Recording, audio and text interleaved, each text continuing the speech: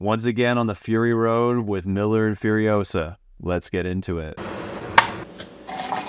Ooh, that's a hot mug, guy. Hey guys, this is my review for Furiosa, the film that we've been waiting nearly 10 years for George Miller to create after the majesty that was Fury Road. Fury Road was one of my favorite movies of the last decade for a myriad of reasons, between the fantastic stunt work, the impeccable editing, the insane music that I do not allow in my car anymore for safety reasons, the fantastic characters, the incredible pacing, the entire intensity of it all, and getting the recognition for almost everything it deserves. So when it comes to Furiosa, obviously there's going to be some comparisons. And first off, it's not the same movie. It is not. It's a legacy of a character. Whereas the previous movies that Miller's made, they were maybe what, like a couple of weeks or a couple of days in time span. I think the longest one was the first one.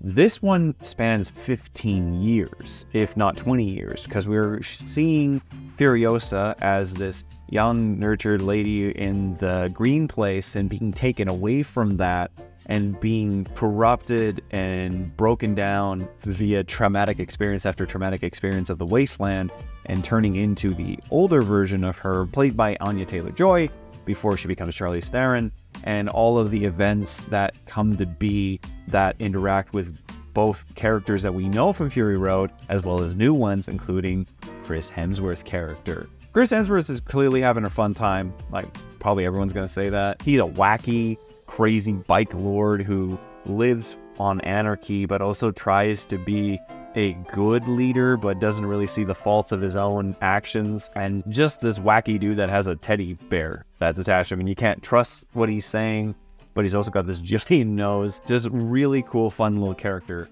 If not, maybe not as evil as the movie is imposing him to be, especially in comparison to, say, like Immortan Joe half of his goons, any of the other villains that we've had from the Mad Max movies. And that is kind of the beginning of the chipping away of the movie for me. Not that Hemsworth is bad in this, it's just how the story is played out and how it comes to its conclusion. They're kind of making it as though he's this big, evil, awful villain, and I think he's just a bad guy, but enjoyable. Let's go on to Furiosa. Furiosa, I thought that the younger actress did a phenomenal job. Very little dialogue from her, but still exceptional in the upbringing of the character, showing us what made her what she is. And then Anya taking on the reins through about halfway through the movie and showing some pretty awesome action sequences, some pretty traumatic stuff, as well as just what built her character to be who she is. I think that they both did a great job. I think that they both did exceptional. Funnily enough, she says even less than Mad Max did, and I actually think that was okay. Yeah, I find that these are movies that do a lot of showing, not telling, and I appreciate that. Even when it's doing a legacy story like this, we are being shown, not told, except for when we're doing world building, which we're going to get into. Now, the thing that a lot of people had some complaints with was how the CG looked in the trailers. And while the movie on the big screen, it wasn't as bad as I would say recent Robert Rodriguez projects it did have some moments where it's like, that's not real. Was disjarring a couple of times for me. It would take me out of sequences that were meant to be epic, and I can understand why they did this. One would be budget. It's so expensive to go out into these areas. It would be a lot less time consuming to be doing this in studios, especially with the technology that's been made by uh, Disney and whatnot for The Mandalorian. But there are moments where it's like, no, that's that's not real. the other would be how Miller made Fury Road probably put that man into an anxiety attack every single fucking day. The amount of stunts and stuff that were happening in that movie, the film was delayed heavily because he was so concerned about not having anyone get hurt, which, you know, props to him.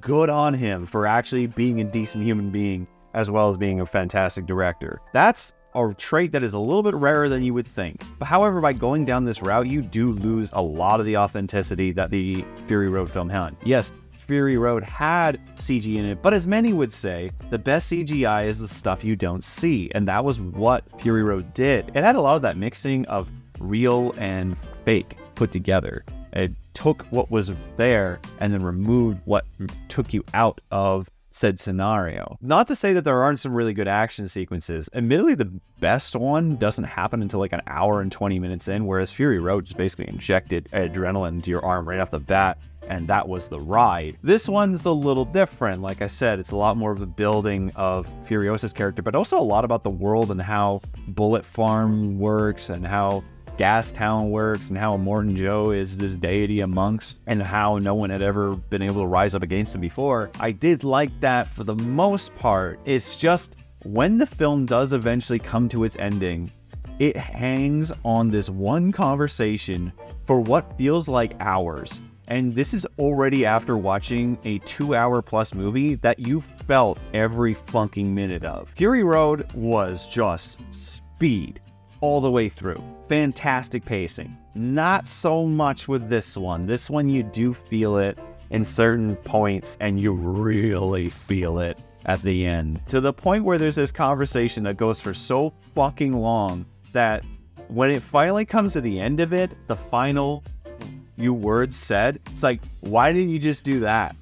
This entire conversation is mute because of what they said at the end. That could have been it. Why did Miller decide to just go on this Shakespearean like monologue of characters' trauma and whatnot. It was weird. Both my buddy and I kept looking at each other going, why the fuck are they still talking? Uh, that, amongst other parts, did take me out of the movie.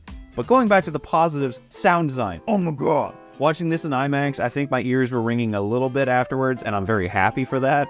That's uh, probably not the right thing to say. Truly, the sound design, both the car mixing, the carnage, the raw, just the fury of it all, along with Tom Holkenborg's music, fantastic. Absolutely great. Soundtrack is not as banging as Fury Road, but still pretty good. You do get a lot of the beats from Fury Road, and like yeah, gasoline and pain. That's the that's the, the, the sound of this world, and it's fantastic. Overall, Furiosa is good. Don't get me wrong it's just not as good as Fury Road. And you're going to hear that a lot from a lot of other people. Oddly enough, it does feel like a collection of short stories put together to be made into a movie. And I think the thing that kind of makes me mm, the most is that we waited nearly 10 years for this. And I feel like it was not exactly worth that amount of time. Like, I don't know, this is like the equivalent of Happy Feet 2 to Happy Feet. Is that the comparison I can make? But in the end, I'm going to give Furiosa a 4 out of 7. It is not the woo I thought it was going to be, but it is still a fun time. It's just not Fury Road fun time. And I would also say maybe some of the other previous films are more enjoyable than this one. I, I said the things, as I said, a few of the things that are holding it back is the very odd pacing at times, the uncanny bits of CG that take you out of certain sequences, uh, the melodramatic ending. But then there are parts that will enrich you, like the action sequences, the world building, the design of the cars and everything like that, and Furiosa's story. You'll be pulled into that. For something that we've waited this long for, it's kind of just like a. Huh.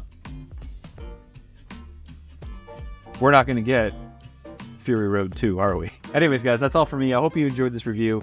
I am very curious to see what you guys have to say. Please let me know in the comments below. If you guys like this video, leave a like, and if you're interested in more, subscribe. Until then, see you guys next time.